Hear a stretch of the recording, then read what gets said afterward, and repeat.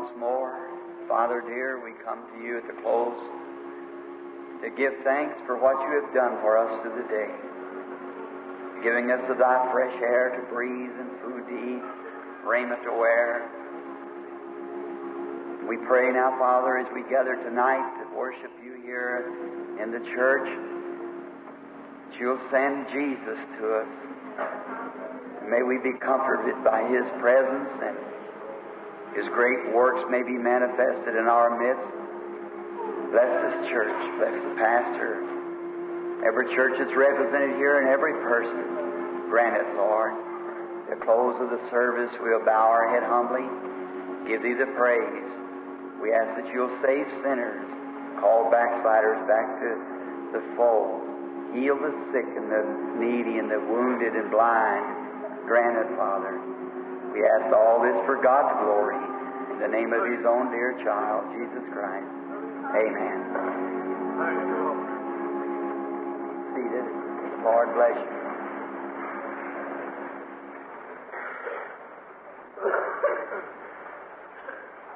It's another privilege that we have tonight of being in the house of God. And we're rejoicing from last evening's service. They, they was telling me this today that the Lord did great things here last night in the midst of us. And I'm very grateful to God. I understand that in the morning I'm to speak at the Christian businessman's breakfast.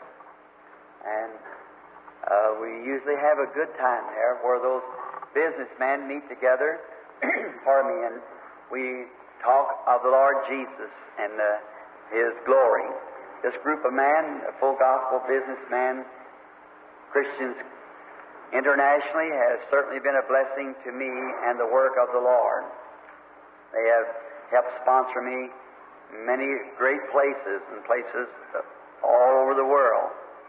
And I'm very happy for the privilege of getting to speak to them or speak for them in the morning to the glory of God.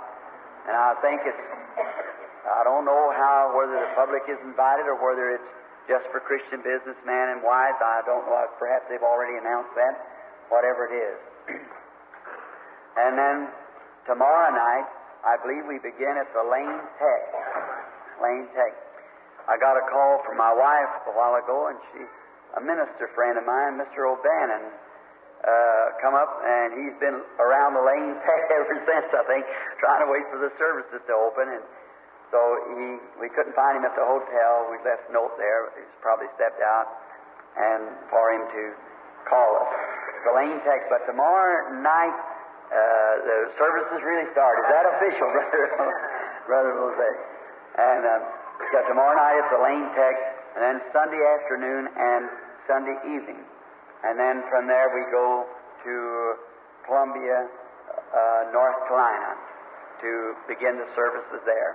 I think that's North Carolina, Columbia, North, South Carolina. I get the, of all my travels, and pretty near everywhere in the world, and I have never yet been in North or South Carolina. Never set a foot on the ground. in North and South Carolina. The only states in the Union that I have not been in is North and South Carolina. And so now tonight, last evening I held you a little late, and the Holy Spirit was here was doing the exceedingly abundantly. A very noted Baptist minister friend of mine was sitting in the audience last night who met with me today and said, Brother Branham, that's what I call a real apostolic service. Right. And uh, he said if the Baptists could only see that, they would come in right now. right. so uh, they, uh, he's been a friend of mine for a long time, and uh, he's a very outstanding man among the Baptist people. And now in Mexico, it was the Baptist church that sponsored our meeting, that Baptist and Presbyterian, and all, of course, all the rest of the evangelicals together. And now in America here, we find that many of our churches in those large denominations, they, they just simply got so many overseers so they just can't accept uh, the Holy Spirit and His works. And uh, But when you take out on the battlefront, now I'm speaking this to the full gospel people, you'd never know whether he was a Baptist, Presbyterian, or a Pentecostal. You'd never know the difference because they're all the same. They have to pull hard and pray. But we here, we go over and pay our pastor a good salary, and if he speaks over 20 minutes, we have him up on the board and find out why. So, and if he says anything about it, he's excommunicated. He's taken right from the church, and if he kicks up about that, the denomination pushes him right out. That's it, root hog or die. But now that's the way it is. So we see, we we know it all. But those people there, whether they're Presbyterian, Methodist, or whatever they are, they have to pray and stay before God, and that makes them spiritual. So don't worry, God's got some children out in there. There's going to be a great pressure come one of these days through you're going to have to pray. We don't know what it is run into a bomb shelter or go home and no home there, and mother run down the street with a baby in her arms and fry with a bomb dropping in the street, and we don't know what those things are, you see. But it won't be long. We'll know what they are. And then you'll pray then, and you, you'll really seek God. It won't be a 20 minutes, a little pacified, made up sermon about some dignitary somewhere. It'll be the Lord Jesus Christ, the power of the resurrection, you'll be crying for supernatural and everything else when them times come. You know that homemade, self-made, documented religion's all right to live by, but it's terrible to die by. Done seen it come to the end too many times. It just won't work. It just doesn't work. And I've seen it many times that the doctor shooting poles in the arm to try to stop a deathbed confession. That's right, of people who's dying and stand there watch them die. And them trying to say, I'm, I'm sinful, I, I, I'm lost. And, and the pastor say, you better give her another pole right quick because she is delirious. She isn't delirious. She just knows she's been wrong and she's trying to find peace, that's all. It'll tell at the end of the road. And if you're ever sincere in your life, you'll sure be when death strikes you. That's one thing sure. So, isn't it wonderful to know that it's all settled? I, just love it, don't you? Just that perfect satisfaction to know that His Spirit lives in you, bearing record of the resurrected Jesus Christ and right living friendship with Him every day, not trying to live this or that, but Him in you just lives His own life out, going where He wants you to go, saying what He wants you to say, doing what He wants you to do. That's the way to live, isn't it? And you people who are living that way, God bless you, my dear brother and sister, and just strive and pray for others to come into the wonderful faith in Christ Jesus. I, if the man is here tonight, I hope he doesn't take this as an offense. I hope he takes it in, in the way of uh, love. A fellow called me up. He said, Brother Branham, I'd like to make a contact with you. I said, Well, I tell you, brother, I don't have anything to do with the appointments, and especially while we're having healing services. I kind of stay alone most of the day and pray, study, submitting myself and yielding myself to the Holy Spirit. He said, But I, I, I want to make a contact with you the way you make a contact on the platform. I said, uh, What's the matter? He said, Well, I've got a loved one that's sick. And said, I, I, I want him healed. And I said, Well, now, you know, I'm not the healer. And he said, Well, I, I, I want to make the contact the way them people does out in the audience and make the contact because uh, he had noticed many people that had come from his community that had been healed by that. Just making the contact. I said, Brother, it's not contacting me, I'm sure. It's contacting Christ. He said, How do I do that? I said, By believing Him. That's right. By believing and resting your faith upon His finished works. That's it. And every true, genuine gift of God will point to Calvary on the finished works of the Lord Jesus Christ.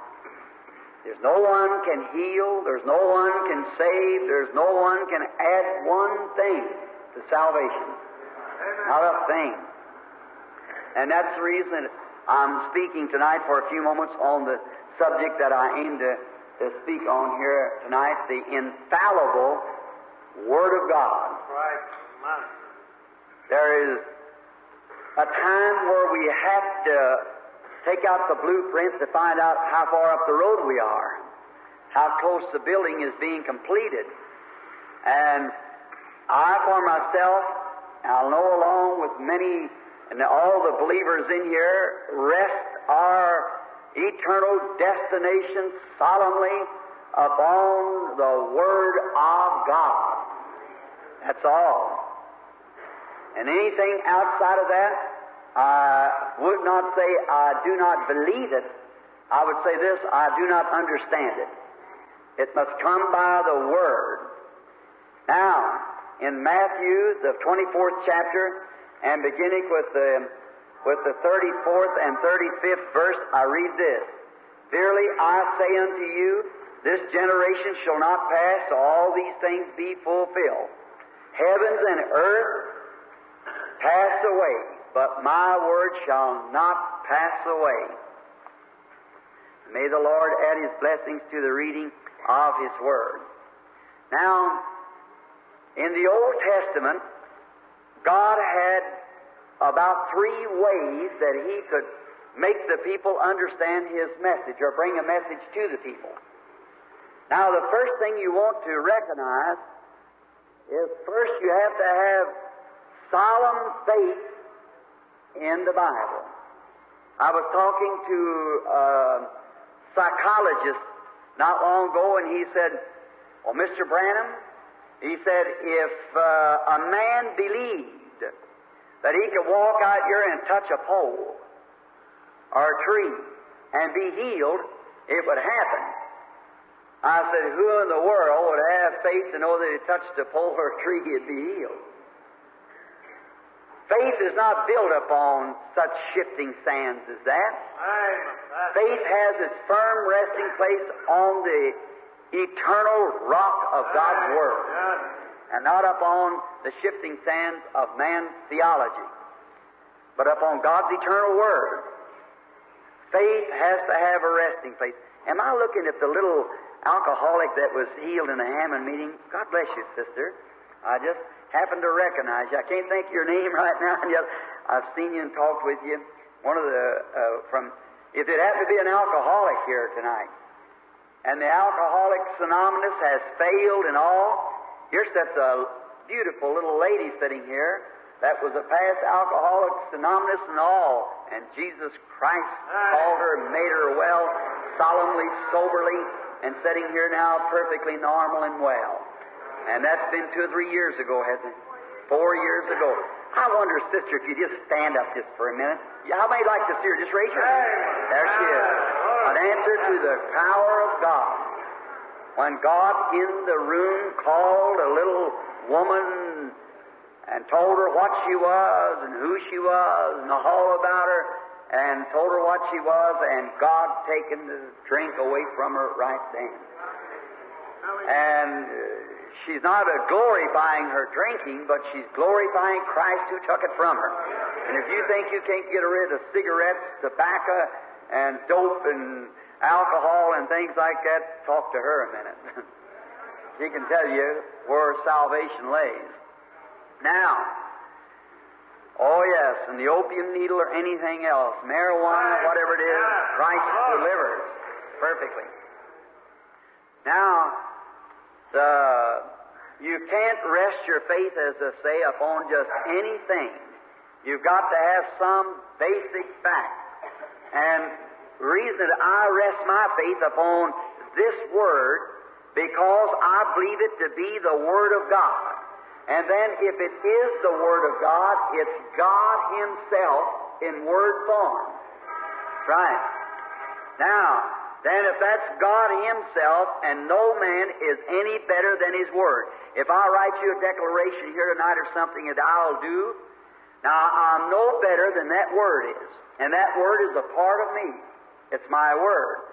And if this is God's written Word, it's, it can be no less than God Himself because He's obligated to His Word.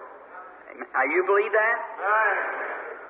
Uh, ministers some time ago when there's a group of men had just been in Stuart Hamilton, many of them having pictures taken at a studio. They wanted me to come down and have a picture taken, and a young uh, scholar was very scholarly, that's true. And he was uh, wanting to get the manager away from me because he knowed I had no education and he just picked me to pieces. So finally he managed a way to do it. And he said to the manager, Mr. Baxter, he said, if uh, you go on to the meeting, I want to speak with Mr. Branham just a moment. And he said, no, I can't do that. He said, Mr. Baxter, I'll have him there just in a little while if you'll just grant me this privilege because I want to talk to him and the meeting's due at this time. So finally, uh, Brother Baxter looked at me and I nodded my head to him. He went on. And he said, Now, Mr. Branham, as a man, I admire you. But in your theology, you're as wrong as day is from night. and I said, Thank you for the compliment.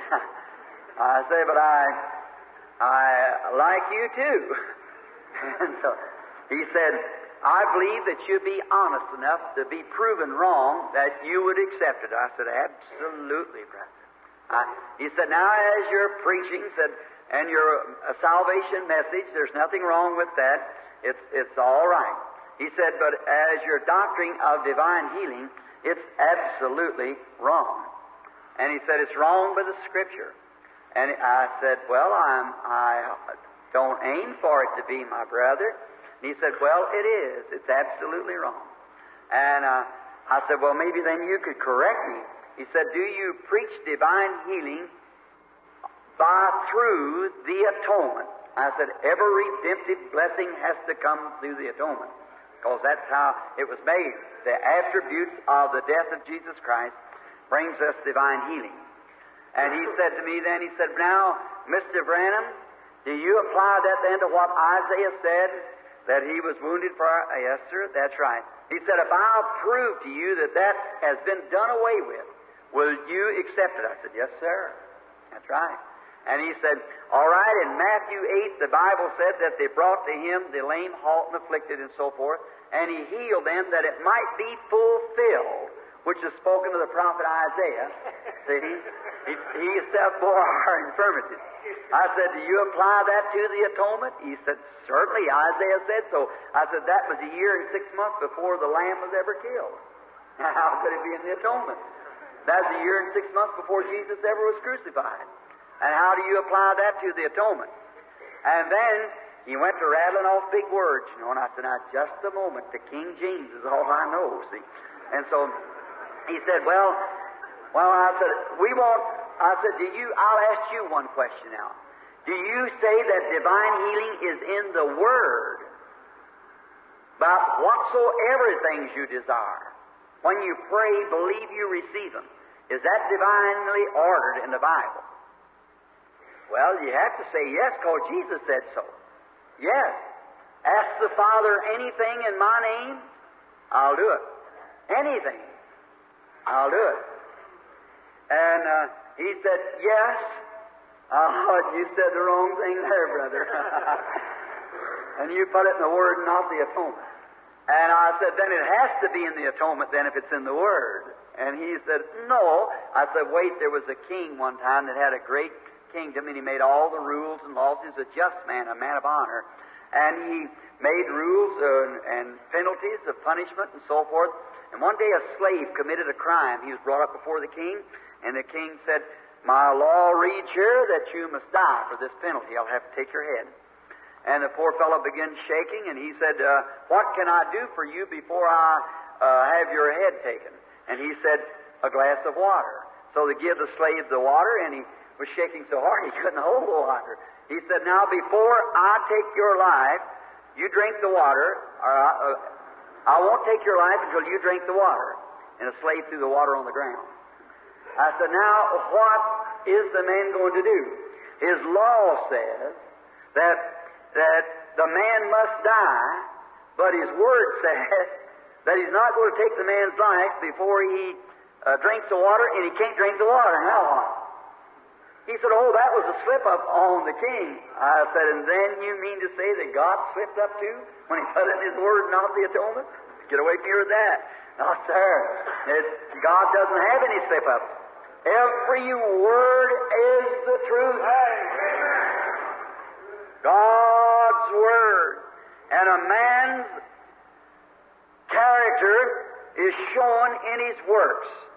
Or a man shows his, his character by his works. We know that. Just like a contractor.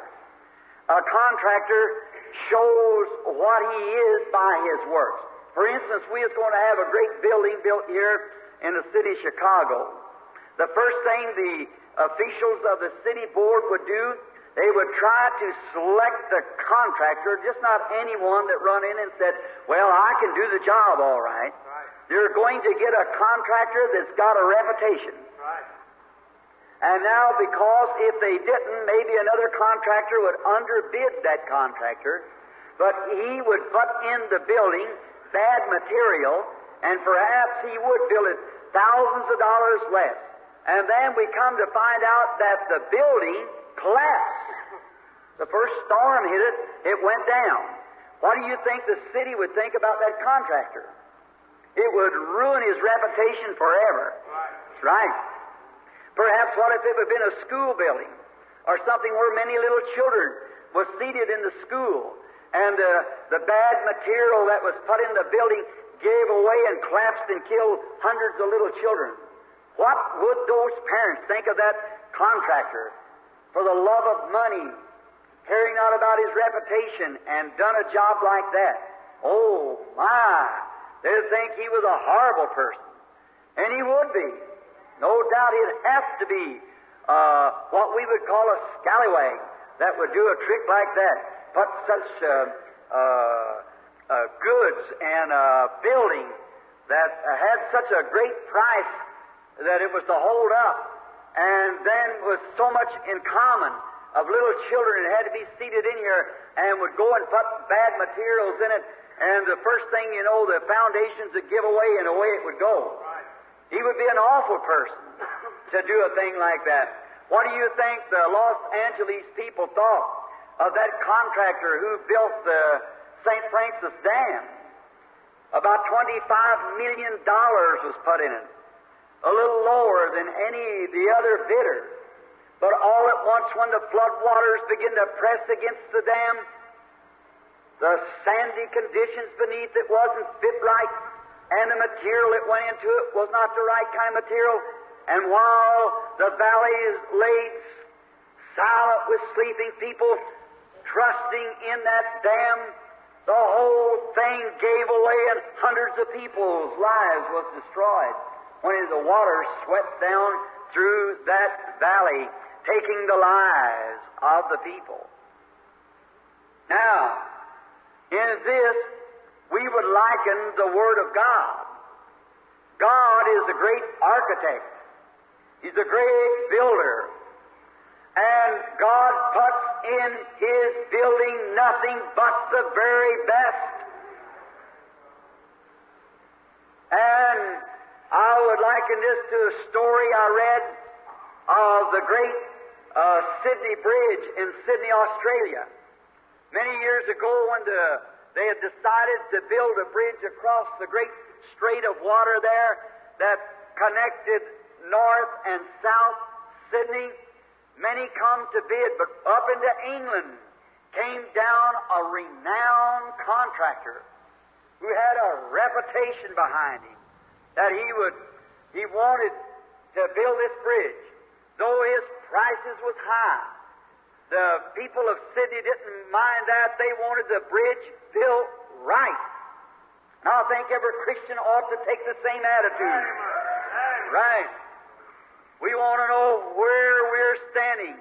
We don't want our eternal destination built up on the shifting sands of some church theology, but on the eternal Word of the living God.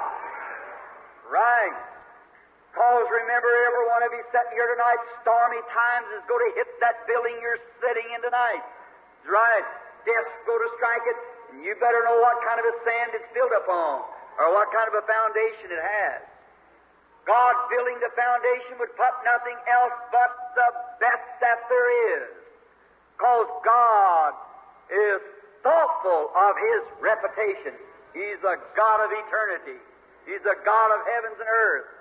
He'll never put nothing in His architect planned, sure, but what will stand the time test for eternity? Amen. Say, I better leave that text. That is, we get to shouting, we get to thinking that. For that's just as true as God is true. Amen. And now, He puts the best, and that's His Word. And that's where I rest my hopes on tonight. My hopes is built on nothing less than Jesus' blood with righteousness. When all around my soul gives way, this rock will stand forever. Right? Yeah. God's eternal Word. And today, when we find out that in our great uh, economy and in our great civilization that we're living in, many things are being built for popularity. Many houses are put up just in a, a row slamming them together. Many bridges are built and other things that won't stand the test, cheap materials put in. And so is many churches built up on man-made theory and doctrines and dogmas that won't stand the test of God's Word. God's Word declares Jesus Christ to be the same yesterday, today, and forever. Same in power, same in principle, same in healing, same as He ever was, He is now, and always was, and always will be. And His attitude has to be the same towards every case that He has dealt with, or He did wrong at the first time when He dealt with the case the way He did. Got to be.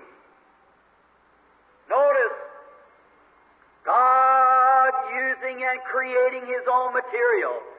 God knew the very trees that would be cut down that went into the ark.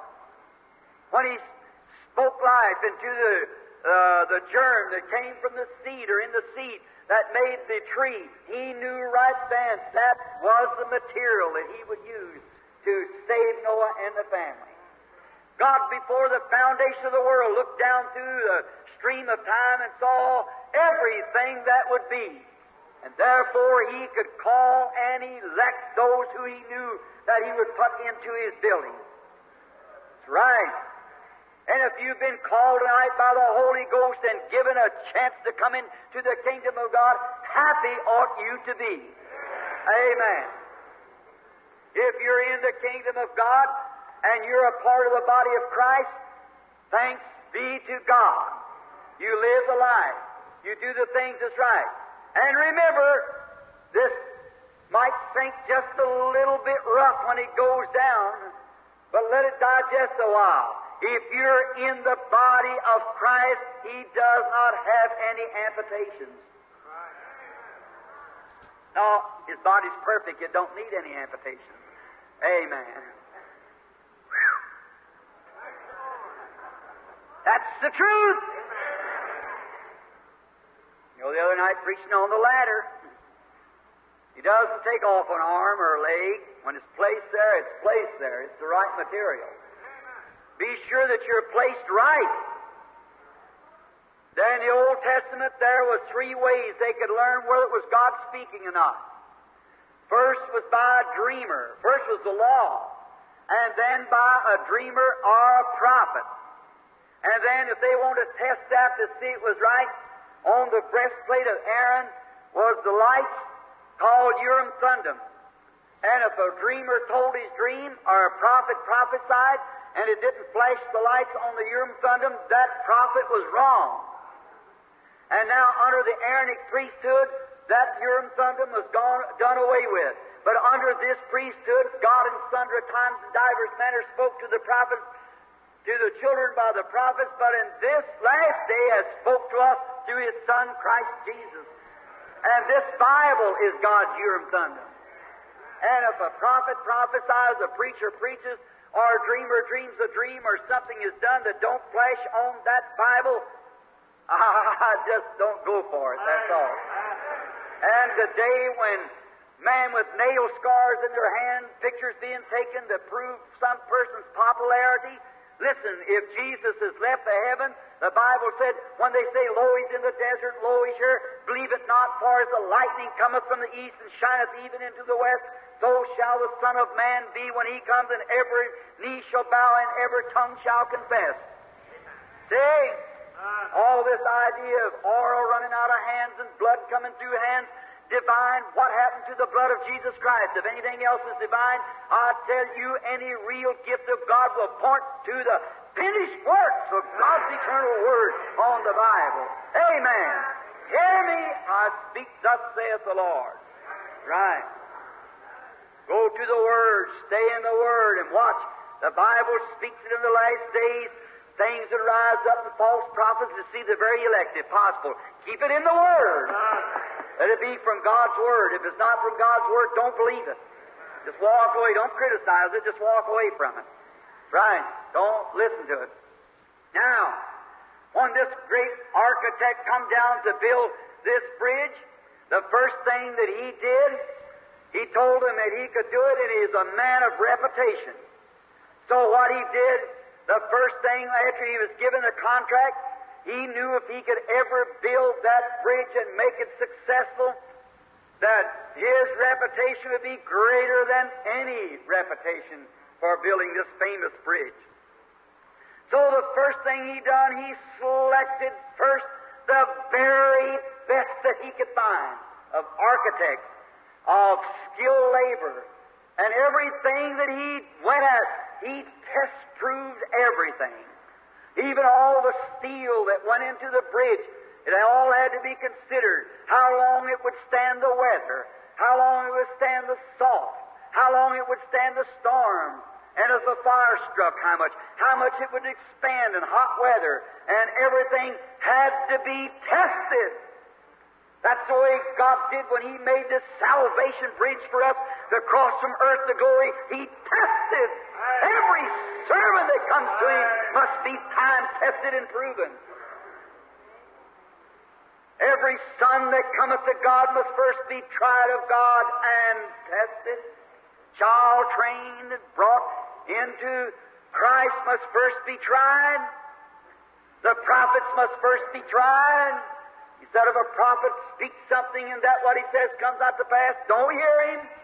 The time tested thing. And if that man building that bridge so time tested everything, even to the bolts that he put into the bridge, he put a magnet on them to see if they were genuine steel or not. When he went to fix the great tower, they said that in the middle of the waters, they said that it had taken him, I don't know how long, to sink this pylon down into there. And to be sure that nobody lost their life in doing it, as far as humanly possible. And he dug down. He struck one layer. He tested the stone. It wasn't the right kind. He blew deeper and deeper and deeper because he knew this great arch out here in the middle would be the thing that would give that on the bridge it has to be set on the right kind of rock. How God did that one between the Old and New Testament He expanded His plan of salvation. He hoisted up an ensign on Golgotha's hill, none other than the Son of God that joined man to God. It was time tested. Hallelujah. He tested it through the seed of Abraham, on down through Isaac, Jacob, Joseph, down through David, and on down to the end until that perfect seed come that could stand in the middle and hold sinner on one end and God on the other and bridge the way. Every word that he spoke, every word that was placed into the Bible was time tested by the Holy Ghost. Therefore, I believe every timber. Amen. Every precept of God is right. Everything that's written in this Bible, I'd be willing to lay my life down for it. I may not have faith enough to make every promise come true, but I'll never stand in somebody else's way who does have faith to do it. If I can't walk where Enoch walked one day and went home without dying, I wouldn't stand in somebody else's way who could walk that way with God. That's right. I'm tested and I believe that every word of God is pure and unadulterated, for God is putting his timber because he's positive that his reputation as a Savior will not be spoiled. Right. Time tested it. Know that it was right. How that many, while this bridge was going up, many prophesied and said, it'll fall down. It'll fall down. How that those surveyors went forth and they checked everything to be sure, coming from both shores, to meet out here in the middle, how everything must be perfect, must meet there just within the eighth of an inch or an inch, so that it would come together just right.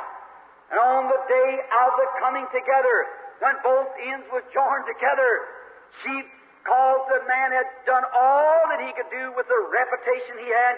He had planned it so perfectly that both ends come together within an inch apart, each one, perfect as it could be.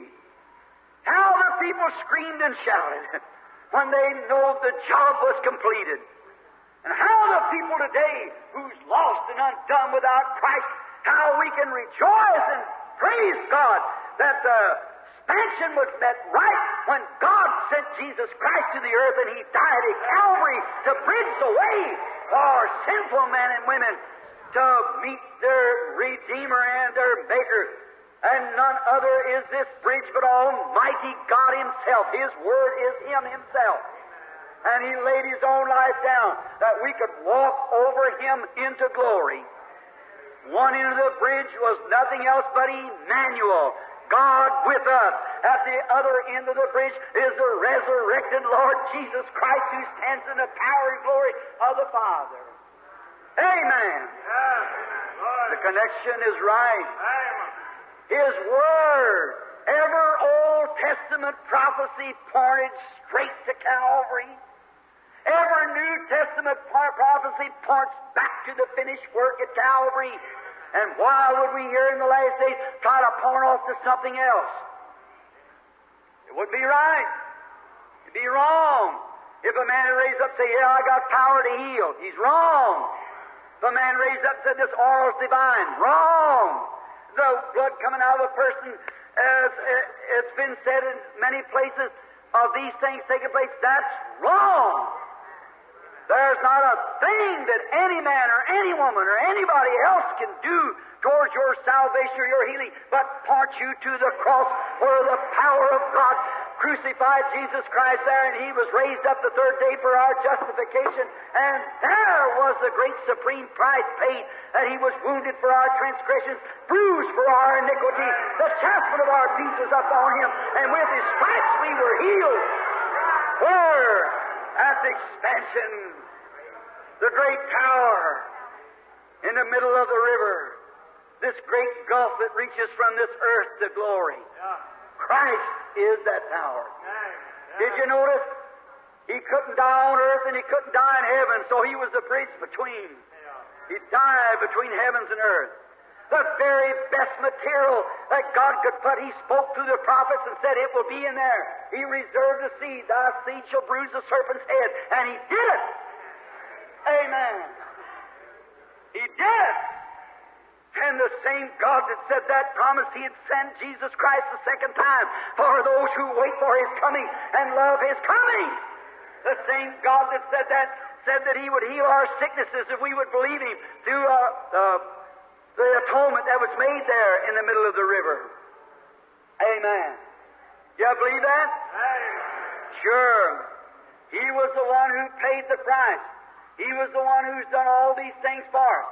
The day that the bridge was completed, the people screamed and shouted all over the city, all over the country, because the bridge was then fixed. And if you don't believe they screamed and shouted, read Acts 2. When the bridge was completed, that spanned man back into relationship with God, finds out if there wasn't not only that, but come rolling down that bridge, come divine gifts from God out of heaven, and anoint the church to preach the gospel into all parts of the world. Amen.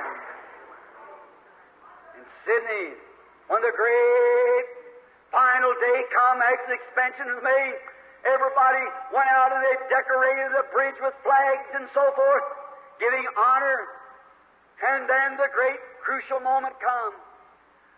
The ribbon was stretched across. The governor, the mayor, rather, was the first one to break the ribbon as he went across. What's the bridge going to do? Without one speck of doubt in his mind, he broke the ribbon because he had confidence in the builder and the material that went in it. Some of these days you've got to break the ribbon too, brother. That's right, that spans this life from the other. You're walking on brittle threads and you don't know what time they'll break. That is true. But when the, the ribbon does break, I've got confidence in the tower and in the bridge that was spanted for highway for us to travel from earth to glory. And the mayor broke the, and after he broke the way, hundreds of others followed him, loads of people, three or four great big electric trains chugged along on each side, not a doubt in their minds. And all behind there come tens of thousands of automobiles and walking pedestrians and all going across the bridge.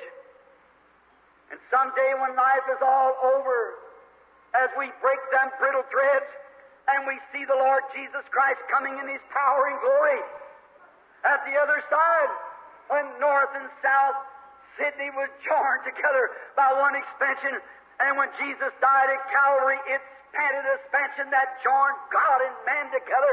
That man are still the sons and daughters of God is in man because Jesus Christ expanded the way. That's my confidence in His Word. How He did it.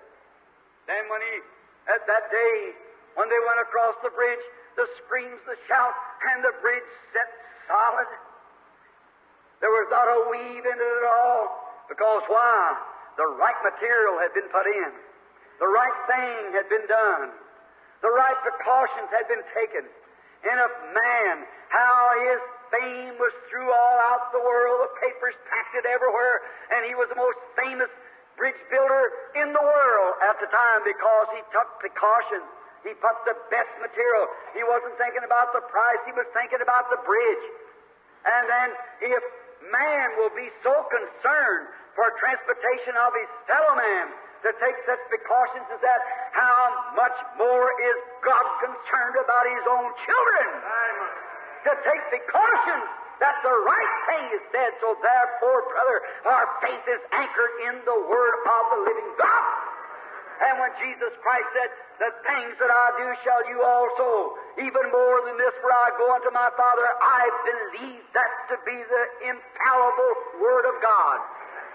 I believe when he said a little while, and the world will see me no more, yet ye shall see me, for I'll be with you to the end of the world. I believe that's the infallible Word of God.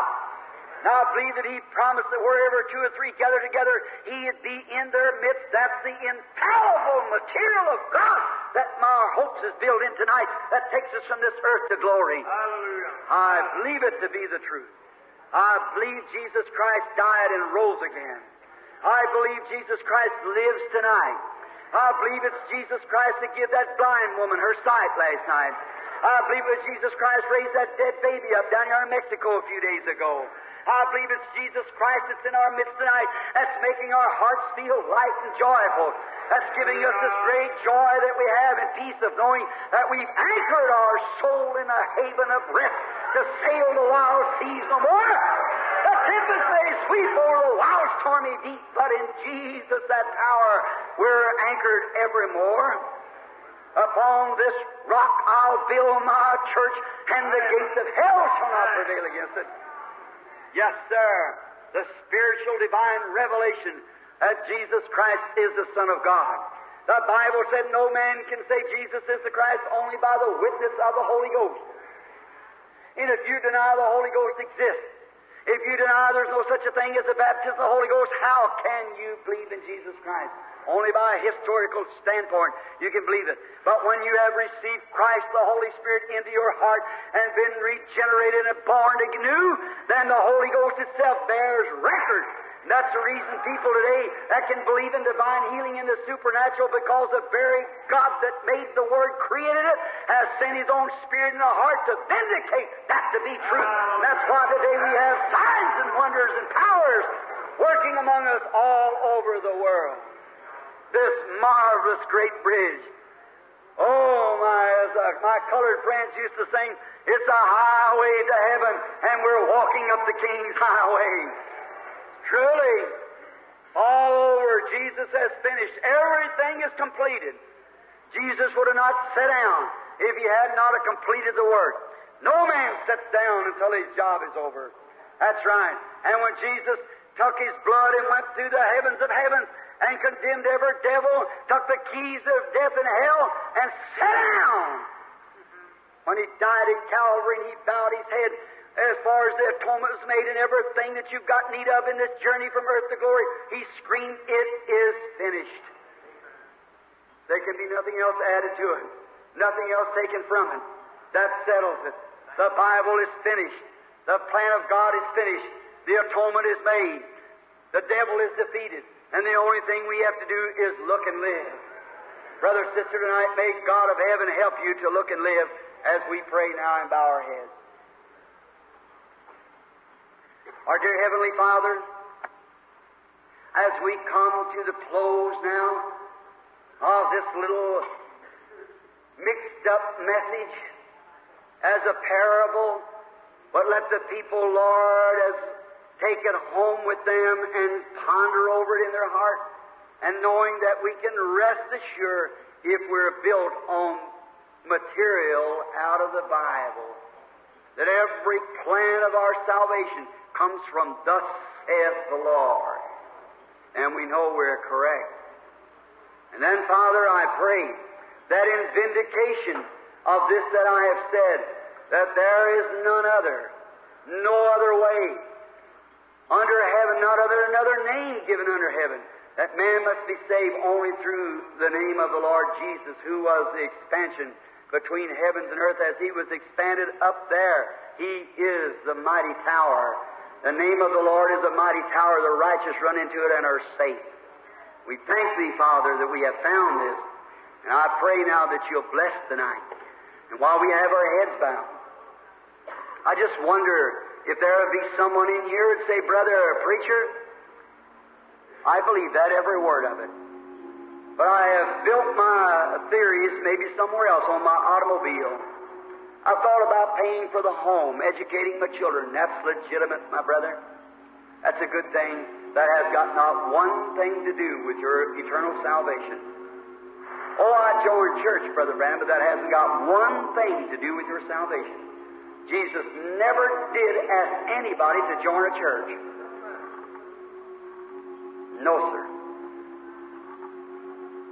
But you say, as far as being born again, well, Jesus said, except you're born again, you'll no wise enter into the kingdom, no matter how many churches you belong to, how good you are, how, how you've contributed to church, how you've took others to church, and how hard you've worked in the circles of the church. That won't have one thing to do with it.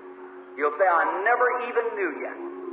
Except a man be born again of the Spirit and the water, he will in no wise enter into the kingdom. If you raise your hand to God at this time and say, God, I haven't accepted this, but I really want it in my heart. I want you, Brother Branham, to pray for me. And God, I want you to have mercy on me as I raise my hands to you. Would you raise your hand? God bless you. God bless you. You, you. Yes, just simply many, many raising your hands. Now remember, you don't do that in vain. See you, sister. You don't do that in vain. You can't. You cannot make one move towards God without Him telling you to do it. No man can come to me except my Father draws him. If something told you to do it. Jesus said, All the Father has given me when? Before the foundation of the world will come to me. Everyone that's been given. The roadhouse might have had you a long time. The old cold formal church might have had you a long time. You might have listened to a social gospel, denied the power thereof for a long time, but don't worry, you're coming to Christ. If you believe, He's sure to do it.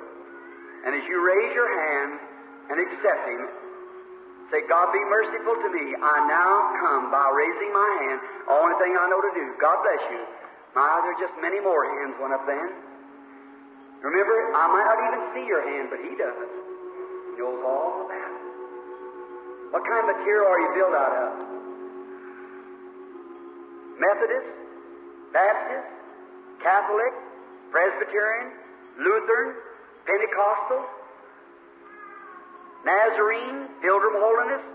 If you're not built out of Bible, material, the boards drove on by the Holy Ghost, you better tear off the boards. Get built right. You believe that He hears my prayer? You believe that He seen, can open the eyes of the blind through prayer? Can, without a shadow of doubt, know every thought that's in your heart? And do the very same things He did when He was here on earth, standing here in our midst? Then you raise up your hand to Him. I'll offer prayer for you. All right. God bless you. Any more? Our Heavenly Father, the speaking of the Word. It's hard on the tree sometimes to saw it out and shape it and prune it, but it must be did this way to bear fruit. So we pray, dear Heavenly Father, that every person, these dozens that raise their hands to accept you, that you'll put their name right now in the Lamb's Book of Life. Engrave it out there in the middle of the air, in that hand that was nailed to Calvary. Grant it, Lord, and may not one of them be lost. May every one of them safely arrive. May they come fully, wholeheartedly, and receive the Holy Spirit in their heart and be made anew by the renewing of their mind. Grant it, Father. May the Holy Ghost do this, for we ask it in Jesus Christ's name. Amen. That's so beautiful. I want to sing it once with you, you all together softly and tenderly. Let's just sing it now together. Softly and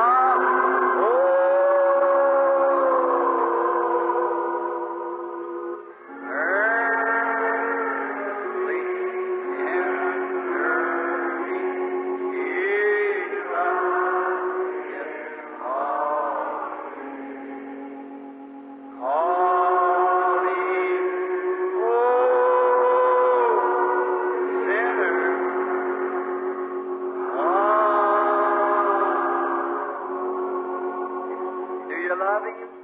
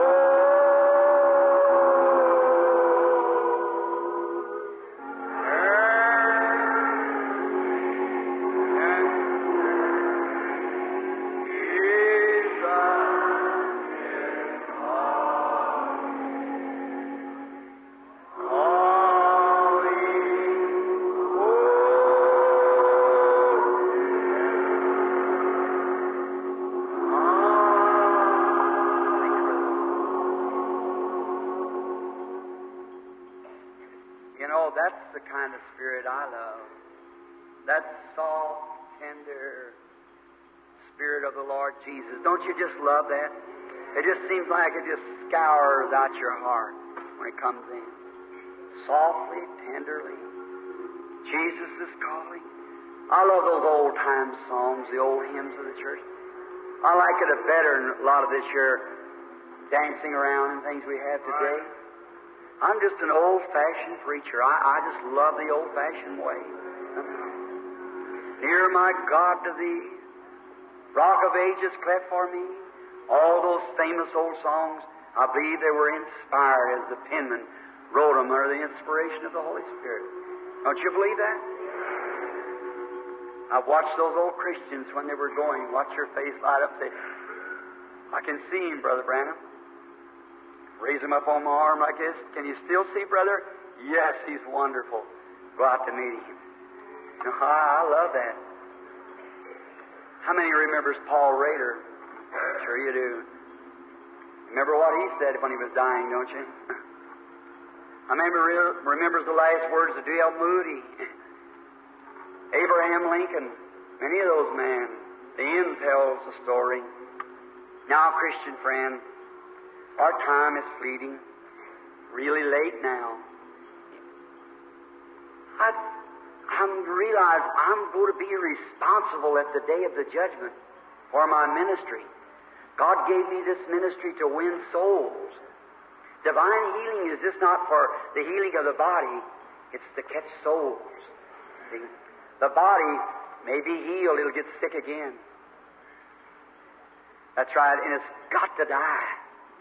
But that soul, once born and connected in the kingdom of God, has eternal, everlasting life. When eons roll on, the eons of time, it'll still be the same. Now, what if this was all we had? That would be enough, wouldn't it? That's right. I want everyone that raised their hand to Christ tonight, as soon as the healing service is over, I want you to gather around the altar. I believe that right now you'd go to heaven if you died. I believe it. But to strengthen yourself, listen what Jesus said. He that heareth my words and believeth on him that sent me has everlasting life, and shall not come into condemnation, but done pass from death to life. That's what he said. That's not just emotion or a mental workup. That's when you really believe it.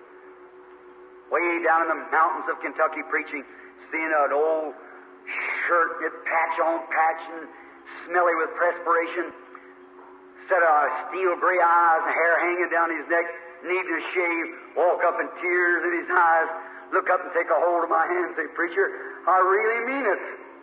Brother, you can depend on it. It's there. Something's happened. That old fellow that would have shot you the drop of your hat. Yes, sir. Would give the last drop of blood he's got for you now. That's right. Sincerity. We in the city, we get starchy. We just so, well, I'll go over to Dr. Jones. I got my name on the book over there. That don't do you one bit of good. That's right. That's right. Unless your name's written up there. That's right. That's right. You must take God's material, God's Word. Except the man be born again, he will in no wise come. Right. No wise can see. Now, we're so thankful for God for His Word. That's true. Now, His Word said, here's what His Word said. Let's see what it said. See if we got the church built on the right material. He said in the last days He'd pour His Spirit out, and young man would see visions, old man would dream dreams.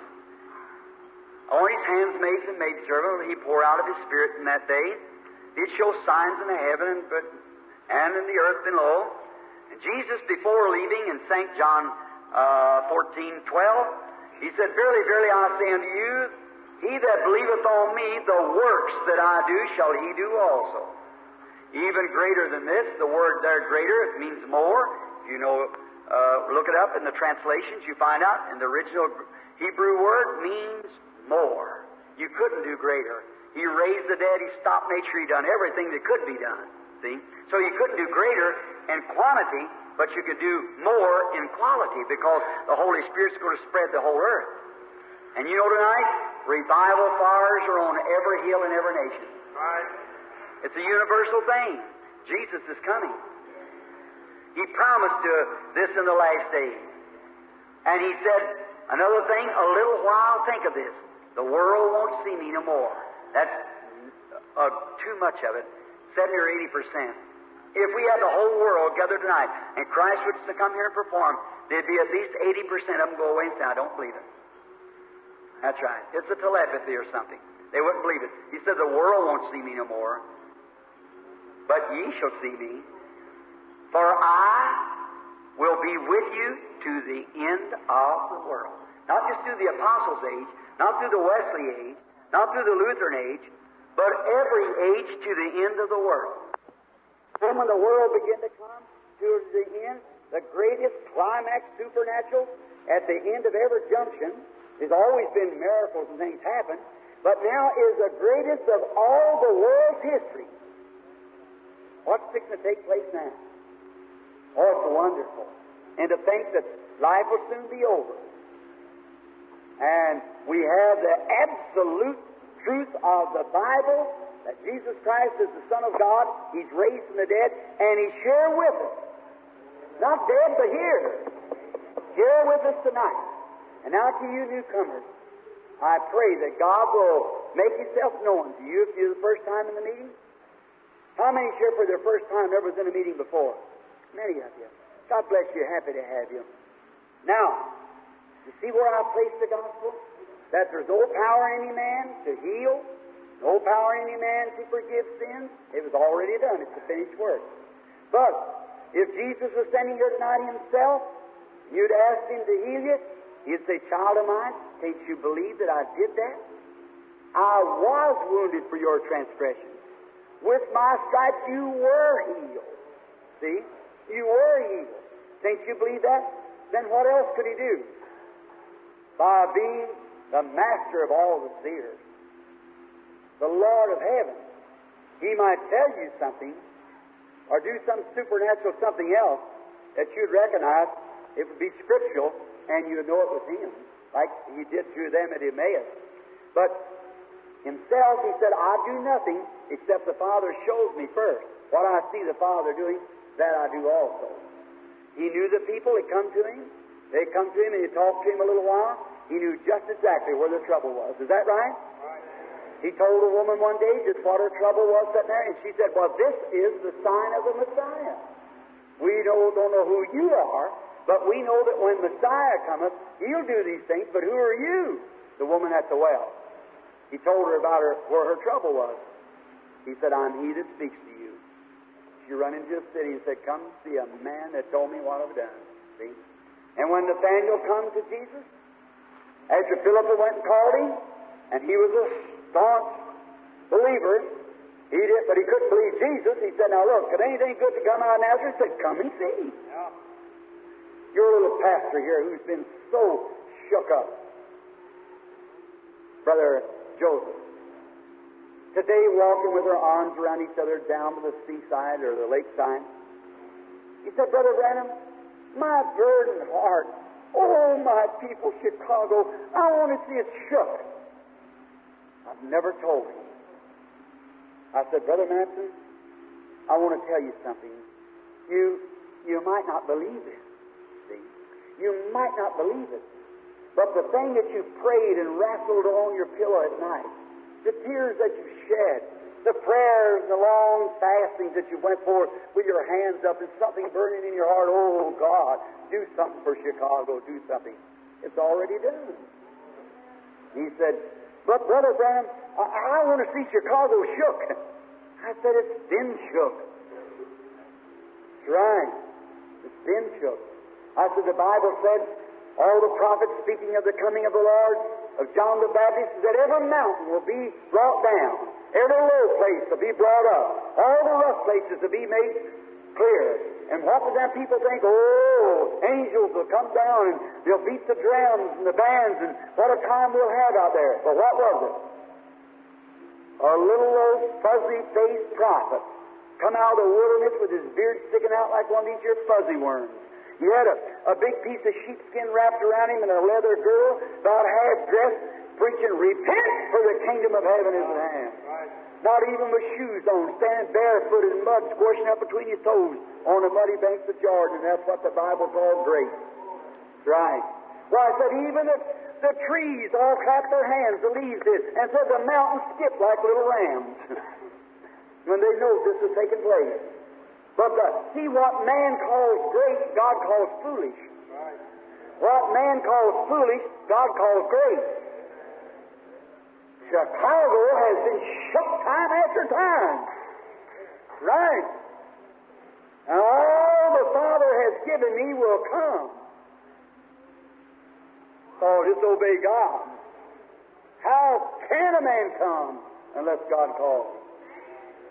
Advertised in the paper if there would be five dead people raised from the grave tonight, and tomorrow morning we'd get that much space in the paper of it. Way over in the backside somewhere. That's right. Sure. The world knows their own. What do you think Jesus would get tonight if he come in here and raised so many dead people? That's what he would get, just like he got to get. What would the what would the people, the, the so-called Christians that go to these big Orthodox places and don't believe in divine healing and just so they belong to church, what would they say? It's some kind of a trick. It's mental telepathy. They said the same thing back there about him. They said he's Beelzebub, he's a fortune teller. Don't hear nothing about that. Keep away from such. If anybody goes over that little clique with his, why, we'll excommunicate him. But the Bible said the common people heard him gladly. The poor went to the same thing tonight. I'll say this, my brother. Chicago has been shook. Don't you worry, Brother Maxson. God bless your little heart. You've cried a many nights and prayed, and I've seen you fast till you looked circles under your eyes. Don't worry. Your reward's waiting up there at the head of the ladder. That's right. But Chicago, you just don't see it. I don't, looking at it natural, I wouldn't either, but when you look over yonder in that dimension, you see what's talking about. See? There's more done. God, no man can come until the Father's called. See? Why did Nathaniel run way over there, Philip, and get Nathaniel? See what I mean? Used to be one of, one of them. Now, Jesus is raised from the dead. He's here. If you've got eyes, may you see. If you've got ears to hear, may you hear. But if you haven't, you can't. So let us pray. Heavenly Father, I pray that there'll be many in here tonight that will see, hear, and may it fall deep in their heart, and may they believe. For we ask it in Jesus Christ's name. Amen. All right. Uh, he give out what you is hundred now? Indeed, there's a hundred prayer cards out, and these, these hundred prayer card and these. Last night we called the first part. Let's go over and call the last part tonight. We had what was in the line last night? Fifteen, wasn't it? About fifteen, just about as many as I can get to in a night. I don't want you to stand in vain. I might not get to that many. I'll try my best. But let's take that would be D uh, eighty-five. 85, 95. 85, D85. Who has it? Raise up your hand. Anybody got D85? Would you raise up? 85, 86. Raise up your hand. 86. Line up over there. 87. Come this way, lady. 87. All right. 87. 88. All right, brother. Over here to the right. 89. D89. Do I miss your hand? D89. All right. 90. Who has D90? 91, 92, 93, 94, 95, 96, 97, 98, 99, and 100. Let those people line up over here. And now, while they're lining up, and the usher, Brother Woodson, you'll help me there just a little bit, you and Brother or somebody, so we can hurry and, and reserve the time. I want to talk to the audience. Now, I want you to look this way just a minute. Now, especially to the newcomers. I want to say this. If Jesus Christ, if my gospel that I preach of His Word is the truth, then how many believe that the Bible said in Hebrews 13:8 that Jesus Christ is the same yesterday, today, and forever? Do you believe it? All right. Then, how many knows this that Jesus Christ? Now we're talking about Him yesterday when He was here on earth what He is today and what He will ever be. When Jesus Christ was here on earth, the Son of God, manifested, God manifested in flesh, being Emmanuel, when He was here on earth, He did not claim to be a healer. Let's see your hand. How many knows the Bible said He, he wasn't a healer? How many knows the Bible said this? It's not me that doeth the works, it's my Father that dwelleth in me, He doeth the works. How many? All right? Then He did not claim to be a healer. How many knows this again?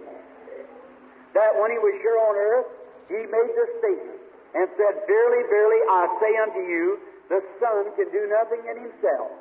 But what he sees the Father doing, that doeth the Son likewise. Then when Jesus, at St. John 5, 19, 5, 19, when he passed through that pool where all them crippled and blind and lame was laying there, he went to a man the Father had showed him where this man was lame. And he went to this man, you know he'd been sick for all this time, and 38 years, and so he, he told him that he was healed, and he picked up his bed and walked, and the Jews found him and questioned him about it being the Sabbath and so forth. But he he only did as the Father showed him. Then, do you believe that he was full of mercy? Full of compassion? Had mercy on the people? Then how could he have mercy on the people and pass by all them lame, blind, halt, lame, and afflicted and not heal them? Because they don't know, you, you wouldn't know what mercy means, what compassion means. It's like I've always said about love. There's two different kinds of love. Do you believe that? Some people get them mixed up. Like some people in being born to the Holy Spirit. They get mixed up in the new spirit. As Jeremiah said that God said, In their last days I'll write my spirit upon their heart, I'll write my law in their heart, and I will give them a new spirit, and then he said, I'll give them my spirit. And many people get the new spirit well, you have to have a new spirit. You can't even get along with your neighbor, let alone with God. See? So you have to have a new spirit before you can get along with the Holy Spirit. Sometimes when you get the new spirit, you think then that you've got the Holy Spirit, but it isn't. It's the new spirit. The Holy Spirit will witness Jesus Christ. But if you just joined church, went up and knew that you should do right, that's just the new spirit. That's just a spirit God gave you, but not His spirit yet. See? You come into Christ by the Holy Spirit baptism. 1 Corinthians 13 says, By one Spirit we're all baptized into one body. Spiritual baptism into the body of Christ. Then you're secured with Christ. He doesn't amputate any arms, legs, or eyes, or anything of his body. He's perfect. And you can't be perfect, but as long as you're in Christ, you are perfected by his vicarious suffering and death at the cross. God doesn't see your sins. He sees nothing but one perfect person, the body of Jesus Christ. He can't. That's the reason Balaam, the hireling prophet, thought surely God would curse Israel because look at the things they had done wrong. But he failed to see the smitten rock and the brass serpent going before them, making atonement. God couldn't see through the atonement. His blood had answered its place. See? All right? Now, look this way and believe. Jesus one day was going to a crowd. Now you say, Brother Branham, why do you take so much time for It's best that you would understand thoroughly one thing than to haphazardly uh, chew up a lot of things and you wouldn't understand it. See? Look, Jesus was going to a crowd of people, and everybody was all around him. And a little woman touched his garment and walked away and hid herself out in the audience. And Jesus stopped and said, Who touched me? Now he did not feel that on the border of his garment. Touch the hem of your skirt down at the end of it and find out if you do, or your overcoat down at the end and see. Let somebody touch your overcoat and see if you feel it. Certainly not. But he felt it, the touch that she supernaturally made. It was her faith that touched him closely now. Listen, don't miss it. Her faith touched him. He said, Who touched me? Everybody denied it. She denied it too. All denied. Who touched me? Nobody knows. He said, But somebody's touched me. Said, I've got weak. Virtue gone from me. Virtue is strength. I got weak. Everybody denied, and Peter said, Lord, who touched you? Well, the whole multitude's touching you. But it was a different touch. Finally, being the King and Lord of the seers, he looked to the audience until he found the woman. And he said, Thy faith has saved thee, the blood issue. Then she run and fell down at his feet and confessed everything, how she had done it. He said, Daughter, be of a good cheer. Thy faith has saved thee. That was Jesus yesterday. Now, if he, that was Jesus yesterday, and he's got to be Jesus the same today if the Bible's true and we know it is, then how could we touch him today?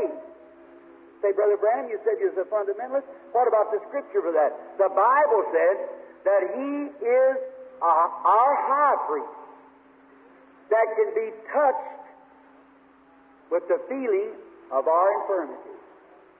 Is that right? Then if your that woman's faith could touch him, then what was she touching? Not Jesus, she touched his clothes. But what did she really touch? She touched God. And she, Jesus didn't know who it was. The Father hadn't showed him that. But she drawed from God her desire, and Jesus was God's mouthpiece. So he spoke to her what she done it and how she done it, and told her she was healed. Now Jesus has gone away and sitting in the presence of God with his own blood as a high priest. Now he has to use his church tonight for mouthpiece. Is that right? Take no thought what ye shall say, for it's not you that speaketh, but your Father that dwelleth in you. He speaketh. Then your faith touches God, and people are born in the world, some to be apostles, prophets, teachers, evangelists, pastors. God sets those in church. Is that right? Then He's got people that can preach the gospel, teach the word, be a missionary. Of an apostle is a missionary. Both the same word, someone sent. See, why you ever desire to be called a missionary, I don't know. A missionary is an apostle. And how they was sent. And all these God has put in the church, then how does He touch? How do you touch? You say, Oh, Heavenly Father, in my heart, I- I'm sick, I need Oh, I believe that Jesus died for me, and His blood was shed at Calvary. He was wounded for my transgressions. That I have confessed, and I believe you. And with His stripes I am healed. And they say that that blood is before you, that He is the high priest making intercessions on my confession, and I confess that I believe you. Now, great high priest, can I touch you with the feeling of my infirmities? I want to be healed for your glory. Speak. Then he speaks to his servant, turns to you. You who had so and so, you back there, you up there, who had so and so, you've been suffering with a certain thing for a certain time or something like that, or if you've done this or that or whatever it is. Your faith has made you whole. What did that? Your faith never touched the preacher, it touched Christ. Christ worked back by the Holy Ghost to you. The preacher didn't know what he was saying. It was the Holy Ghost speaking. You believe that? Now that's for you. The rest of it, we'll call here. All right? As the lady comes. Now, be, I'm going to ask you one thing, friends. They, I'm going to ask the brethren, just let me stand a short time. Remember, it's another world. Just outside, do you believe that in this room that you can't see with your natural eyes, that there's angels? Yes. You believe God's here? Yes. Well, I, you can prove, uh, electronics can prove that television's in this room. You believe that? Yes. You don't see it. Voices through radios in this room from the transmitter. Is that right? But we say that there is a resurrected Christ that's alive. And we're only his transmitter. So if Christ is in the room and He's the God of the human race, surely He has some way He can contact His beings, don't you think? Certainly He does. Now, He's here. Now be reverent. Be in prayer. Sit quiet. Don't move around. Just sit real still, if you will, for the next about 15 minutes. They'll dismiss the audience probably the next 15, 20 minutes, but don't move. But sit there and be, don't think about nothing but Christ. Just say, Oh Lord Jesus. I believe you. And maybe Father will have mercy on you. I trust that He will. Now be reverent and be in prayer. Now, here's a woman standing here. I want you to look at me just a moment, sister. We're strangers to one another, I suppose, but God knows both of us. I don't know you, and you don't know me, so uh, God knows us both. Is that right? And it's you're just a woman, and they give out a, car, a prayer card either last night or tonight, and and you when a number was called, that was your number. And you just come up here. That's that's all there is to it. Is that right? I never seen you, never knowed you, and you never know me. We're born probably miles apart and years apart, and here's our first time meeting. But there's someone here who knows you. There's someone here who knows me. You are a woman, I'm a man. You are a Christian, I'm a Christian. And the Spirit between us is the Holy Spirit. And that Spirit is trying, you're trying to contact that Spirit for something, I don't know why. It might be finances, it might, I don't know what in the world you're here for. God does know, He knows what in this great universe that you need. I don't. But if Jesus has raised from the dead, and He's the same yesterday, today, and forever, there was a woman came to Him one time drawing some water in St. John 4. And Jesus said, Bring me a drink.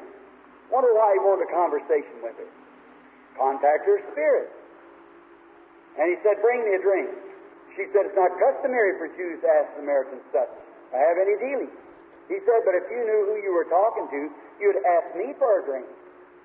And I'll bring, give you water, you don't come here to draw. The conversation went on about where the worship at and so forth. What was Jesus doing? Contacting her spirit. He was on his road to Jericho, but he went up by Samaria, way up in the hills, way away from Jericho, because the Father told him to go up there. He sat down and sent his disciples away because the Father had said so. He said he did nothing until the Father showed him. Now, then the woman, after talking to her, he found where her trouble was. And he said, Go get your husband. She said, I have none. Said, That's right, she got by. Now, what did she say? She said, Sir, I perceive that you are a prophet. That we know that when the Messiah cometh, he'll tell us these things. But who are you? He said, I'm he that speaks to you. She ran into the city and said, Come see the man that told me those things I've done. Isn't this the very Christ? Now, if he's that was the sign of the Messiah. Is that right? If that was the sign of the Messiah then, it's the sign of the Messiah now. What did the world say about it? What did the church say about it? They said he's a spiritualist. He's a devil, Beelzebub. But what did she say? He's the Messiah. What did Nathaniel say when he told him? What did Peter say when he even told him his name? He said, You're the Son of God, the King of Israel. Now, that's the same thing now, sister. You can only say it. And if it's done, I don't say it will be. But if it is, it'll be a sign to you and a sign to this church that Jesus Christ is alive tonight and not dead. He's alive. It will not heal you. It'll take your faith in Him to heal you.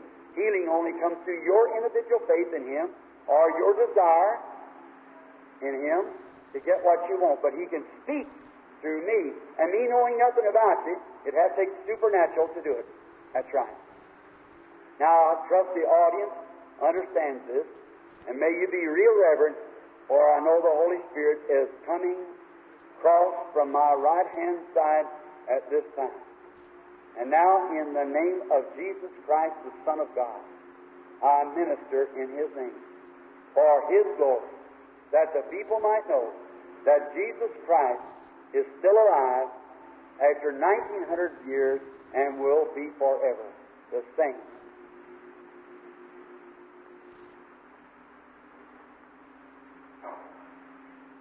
The audience can still hear my voice, I see the woman moving away. And she is very nervous, just extremely upset. And her nervous is a nervous of fear. She's scared. And she's always beset of those things. They can't find out, even the doctors, what causes it. They don't know what it is. And this very day, she's been somewhere for this. And that was through a hospital. And she goes into the hospital and she's having x-rays taken. And them x-rays is of the spine and in the leg. So that the doctor is trying to find out what is wrong with the woman. That is the truth. Thus saith the Lord. Now, whatever was told you was the truth, was it? Yes, if it is, raise up your hand. That's the truth. Then Jesus has risen from the dead. Yes. The last words he said when he ascended up, These signs shall follow them that believe. Amen. If they lay their hands on the sick, they shall recover. Amen. There's something here that knows you. That is right. There's something here, and I can tell you now where your trouble is. It's a spasm in the nerve. That's exactly right. True. You feel relieved, don't you? For you're healed. Your faith has made you well. Now go on your own. Now you see, I never even touched you. Your faith made you well. You know now that He's raised from the dead. God bless you. Have faith in God. Hallelujah. Have faith in God. Don't doubt. How do you do? We are strangers to each other, I suppose, ladies. We do not know each other. And then another picture of the time that I was just quoting, a colored lady, white man. And it was a Jew and a Samaritan between Jesus and a Samaritan woman. And there was a racial affair in them days, and it's always been because of the color of a person's skin. But Jesus let her know that there was no difference in God. We're all God's children. Right. All the offsprings of Adam. That's right. The countries we was raised in, it turned off different colors, has nothing to do with our Creator. He is Almighty God. He made us. And He made us after His own way, in His own design, in His own fashion. God is a God of variety. You believe that, lady? If God only had white flowers, we would think He was uh, um, just just wanted one color. But He has white flowers, red flowers, blue flowers, all kinds of flowers. That's way He made His people. White, black, brown, yellow, all different colors. God is a God of variety. He loves it. He makes big mountains and little mountains. He makes prairies. He makes deserts. He makes lakes and seas. Big trees, little trees. He's a God of variety. He makes us the way we are. So what are you doing, Brother Branham? Contacting your spirit. Because you're in a dangerous condition. That is true. You've had much trouble, and your trouble is in your throat. Right. You've had it for some time. I see you moving. You're going somewhere. You're asleep or something. They got you laying back and a white thing over you. Or it's an operation. The doctor says, cut your tonsils out. Right. But still, you don't know whether that's it or not. That's right. That isn't it. You're allergic to a plant. That's true. You believe now? Now, he who knows you, you believe that he can make you well. Let me have your hand just as a point of contact. Oh God, here is one of Simon's children, the one that helped you bear the cross of Golgotha. Your servants, the doctors, have tried all they can for her, but they failed to find this enemy. But you know him, and he's exposed right here now.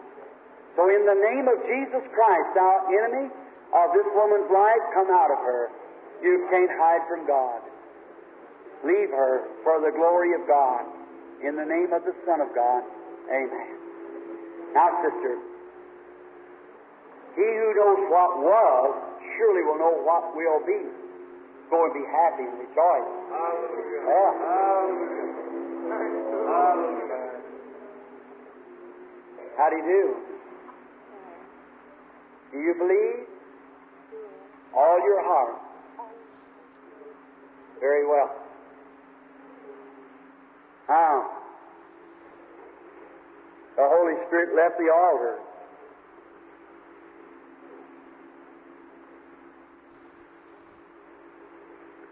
Sitting there praying, that lung trouble, wasn't lady? You touched him. Having trouble in your lungs. Stand up on your feet just a minute. The lady right here. All right. Jesus Christ makes you well, sister. Your faith touched him. He's the high priest that can be touched by the feeling of your infirmity. Amen. Just pray. Challenge your faith. Believe it with all your heart. Jesus said, If thou canst believe, all things are possible. Do you believe He's raised from the dead now? Now have faith. Just say, Lord, have mercy on me. Maybe my faith has been mental faith. Maybe it's been emotional. But now, let me calm down. Let me believe you, Lord. Let me believe you. Now, I don't know you, lady. There's no way of me knowing you because we're strangers to one another. But Christ knows us both. He knows me and He knows you. And someday you and I will have to stand in His presence. Unto a sin if we're not deep and sincere in our hearts.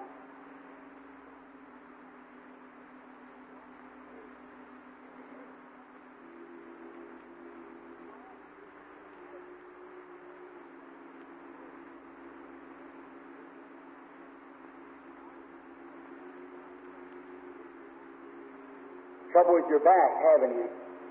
Sitting out on the end of the, the third row out there at the end. If you believe, yes, sir. I've seen you trying to get up, holding your back and trying to work and stoop over. Those things are true, sir. If it is, shake your hands back and forth so the audience can see it. You were praying to God and said, God, let me be included in this. If that's right, shake your hands again. Your faith has saved you, brother. Amen. Have faith in God, Christian friend. Believe Him. Pardon me, lady. I can only move as He moves me. You understand that, do you? Yes, just as He moves.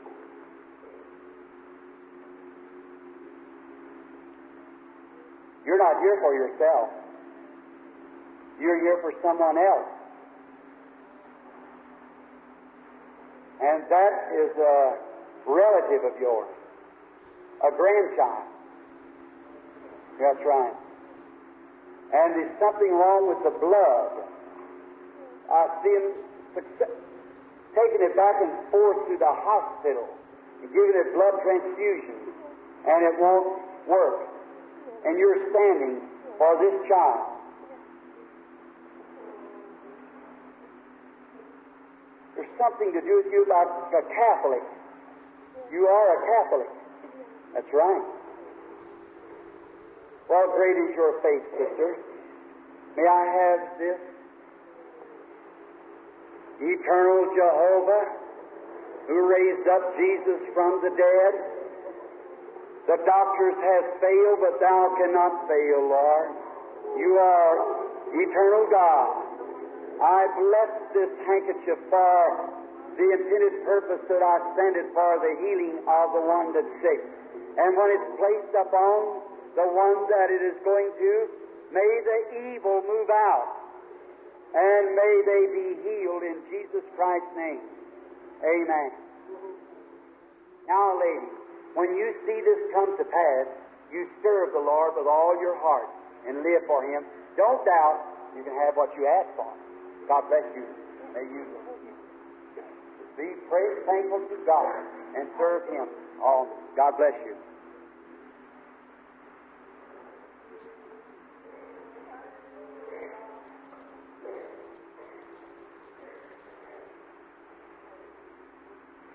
Do sir?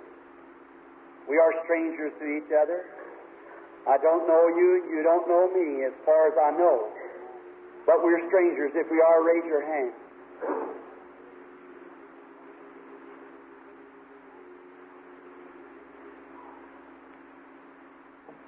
Uh, just be real reverent. Don't get up if you can for a few moments.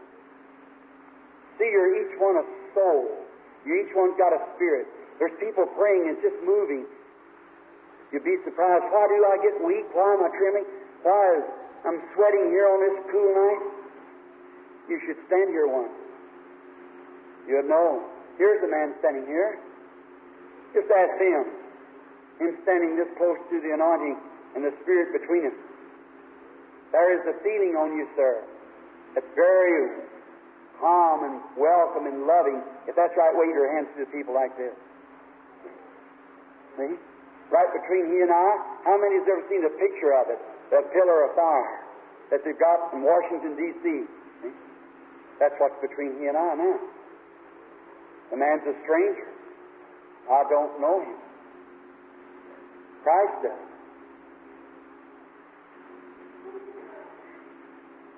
But, sir, I see you're shadowed of the darkness. I see them taking you into a, a building of it's a hospital, and you had an operation. Then you had another operation, and they were for cancer, and the cancer remains. The doctor has failed to get it, but he can't hide from Jesus. You're not from this city. You're from a smaller city in this. That's from, I re- look like I've seen the, it's Rockford, Illinois. It's where you're from. And your name is Leonard, I believe they call you. Rango. Rango. And your address is 3034 8th Street. Now I say this because you have faith, you're shadowed with death. Do you believe that Jesus Christ sent you who knows how to call Cephas Peter? You believe it? Then there's some kind of a spirit got me anointed. Do you believe it to be the Son of God? Come here. Oh Jesus, Son of God, let thy Holy Ghost move into this man and heal him, and may his life be spared, and I condemn the devil that's killing him. May it leave him this night, and may he get well. Go home and be happy, and eat and live. In Jesus' name I pray. Amen. The prayer of faith shall save the sick, and God shall raise them up. Amen. Go on your road and rejoice. Jesus Christ, God's Son, does His great, holy, redemptive work.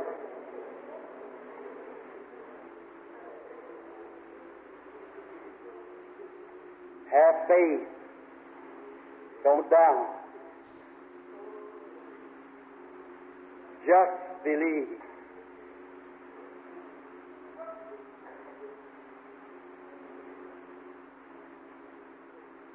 Hmm. Bless the Lord. I don't know you, my brother. I've never seen you. That's right. But one day, Philip went and got a man by the name of Nathaniel and brought him to the Lord Jesus. And Jesus, as soon as he seen him, he seen his sincerity and his honesty. He said, Behold, an Israelite. And I say unto you, Behold, a Christian. Honest, sincere. You're noted even with your people for being a sincere Christian. That's true, sir. That's right. You're shattered by a cancer. The cancer is the neck. That is right. You're not from this country. No. You come from somewhere else, didn't you? Ohio. Cleveland. Right. Your name's Emerson, isn't it? Now go back. Jesus Christ, God's eternal love, heal you, my brother, and make you well.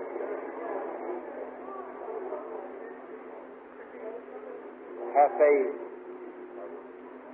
Have faith in God. You want to get over that diabetes and be made well? Jesus Christ, do you believe will it? Come here. Oh God, creator of heavens and earth, author of everlasting life, giver of every good gift, send thy blessing upon the woman who I bless in thy name. In Jesus' name may she be healed. Amen. Don't doubt. Believe.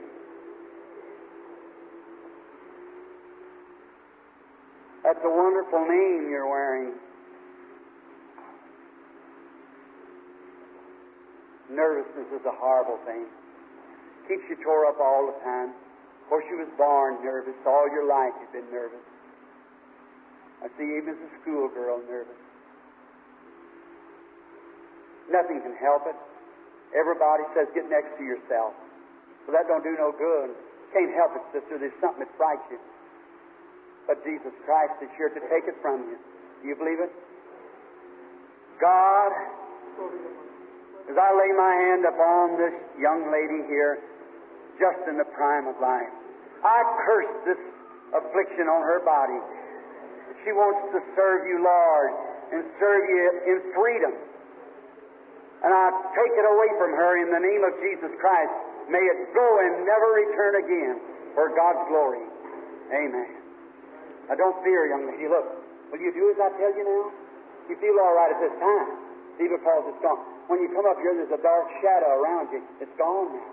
It scares you. You can't help it. It comes to you. But look, now the unclean spirit's gone from you. He walks in dry places. He'll try to return again. But you just take my word as God's prophet. Don't you never have a frown on your face.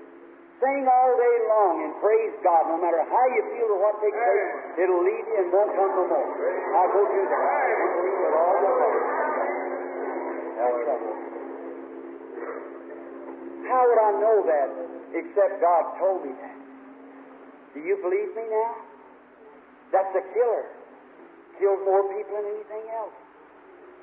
But Christ is a Savior. They that walk upright before God, He said He would withhold no good things from them. You promised Him to do this? Walk upright before Him all the days of your life if He'll spare you. Then come here and let me pray for you. God who knows her, who would know this woman's condition just the same as you did the woman at the well, send your blessings on her and bless her and spare her life as I ask in Jesus Christ's name. Amen. The affectional, fervent prayer of a righteous man availeth much. James 5.15. That's right. Now, we're not righteous. No man is righteous, only the Son of God. So we don't stand, and I don't stand in my righteousness. I stand in His righteousness. So as long as I'm anointed with Him, it's the affectional, fervent prayer of the righteous Christ interceding for you through me to have you to believe. Do you believe that? Then your heart trouble's gone. Go and be well for the glory of God.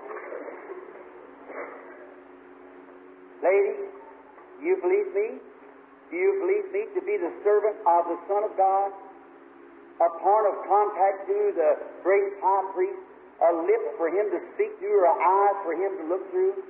Then if he can use my eyes for his power, he could tell me your life, could he? More I talk to you, more would be revealed. I'm getting weak. But if he will just tell me what you're here for, will you accept it? You don't look at to look at, but you're shattered. Let me tell you, you weaken late in the evening, don't you? Sit down. Perspiration runs from you at night. It's a tubercular. That's right. And only God can make you well. That is right. Will you believe that's the first disease that God heals? Consumption. Will you believe now that Jesus Christ has raised from the dead and here at this platform in a supernatural way? Yes, I believe. May your eyes be opened as the servant at Dothan when Elijah was standing out. Oh, Jehovah, eternal God, send your blessings upon this daughter and heal her and make her well. In Jesus Christ's name we curse this disease. Amen. God bless you, sisters. Don't die, but believe. Don't believe. Captain.